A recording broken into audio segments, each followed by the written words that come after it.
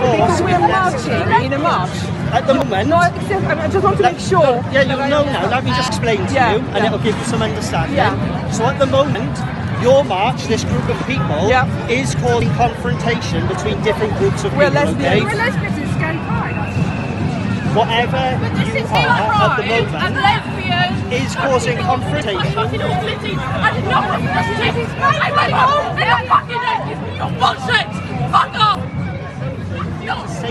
March yourself. We don't want to do that. We want to be But part that's of your choice. So what I'm telling you is You're make sure me- it's safe.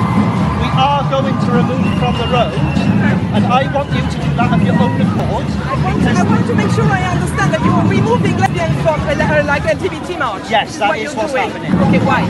for safety. For your safety, my for other people's safety. But That's why why you I'm should be able to protect lesbians. you So- should be able to protect We can have further conversations about the reasons why at the side of the road, because otherwise you are going to be removed from the road.